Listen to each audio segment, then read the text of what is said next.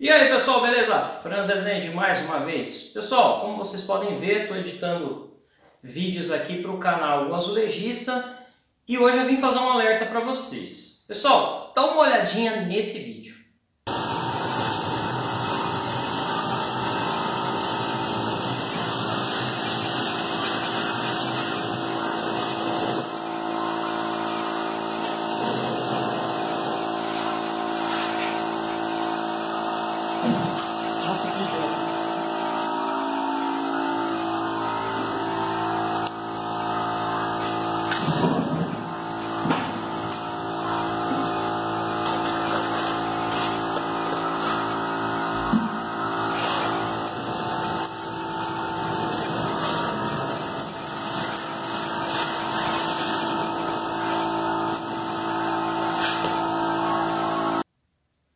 E aí, o que, que você achou dessa técnica que está sendo executada nesse serviço aí?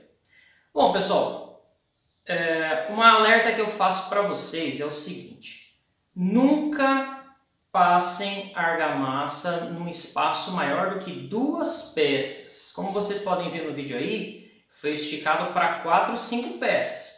Qual que é o grande problema quando você estica muita massa para muitas peças? É esse aí, ó. Só pessoal, tô tirando aqui essa cerâmica, é, estufou aqui no meio desse porcelanato e provavelmente aí é, o cara não fez dupla colagem no assentamento, tá soltando duas peças. Já tirei tudo aqui, até o final lá elas estão soltas. Eu sempre procuro fazer dupla colagem para não ter problema. Mas aqui pelo tipo que o cara só colou as peças aí sem fazer dupla colagem, né? Eu tô tirando as peças, vocês vão ver. Ó.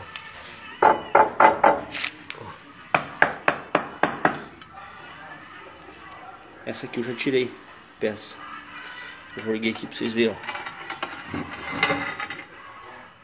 Limpinha a peça. Nem sujou atrás.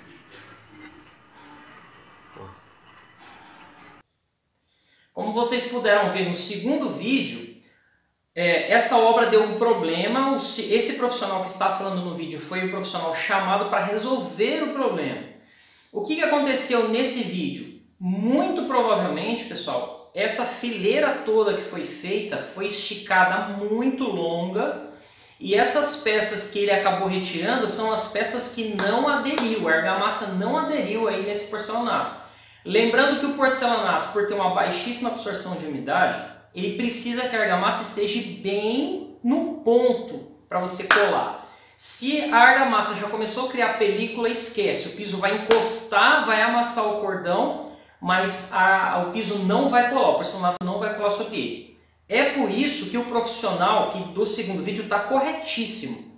Dupla camada é imprescindível na colagem de porcelanato, porque quando você passa uma camada no piso, essa argamassa ela está fresca, então ela já, ela já impregna nos poros daquele porcelanato em contato com a segunda argamassa, vai dar aderência de argamassa com argamassa, quer seja com a dupla colagem com cordão denteado, quer seja com a técnica da queima, que é a técnica que eu vou explicar agora. Aí você pega um pouco de argamassa, pessoal, põe na peça. Com a parte lisa da desempenadeira, você vai espalhar aqui e arrastar.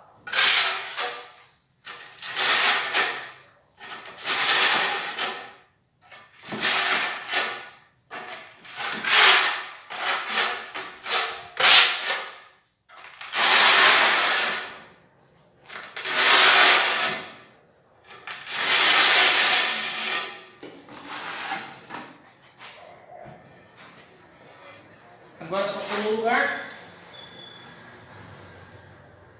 Põe ela afastada, pessoal. Na hora que você for pôr essa peça, você põe ela afastada um pouco para você arrastar ela. Certo?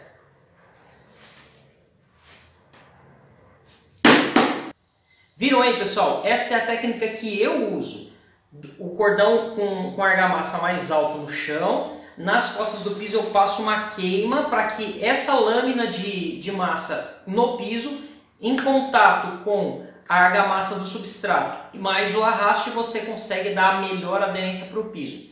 Essa técnica aí é a técnica que eu ensino no curso azulejista.com.br. Se você quer ter a melhor técnica de assentamento sem dor de cabeça de ter que voltar no serviço para refazer, é as técnicas do curso azulejista vão te ajudar bastante, pessoal. E a partir de hoje, o curso azulejista está com uma promoção de fim de ano para você que quer aprender tudo sobre acabamento já começar agora, a partir de hoje vai até dia 31, uma mega promoção do curso azulejista.com.br. Se você quer aprender para fazer para si mesmo ou para aperfeiçoar e se tornar um excelente azulejista, a hora é agora. No primeiro comentário aqui embaixo eu vou deixar o link da promoção para você.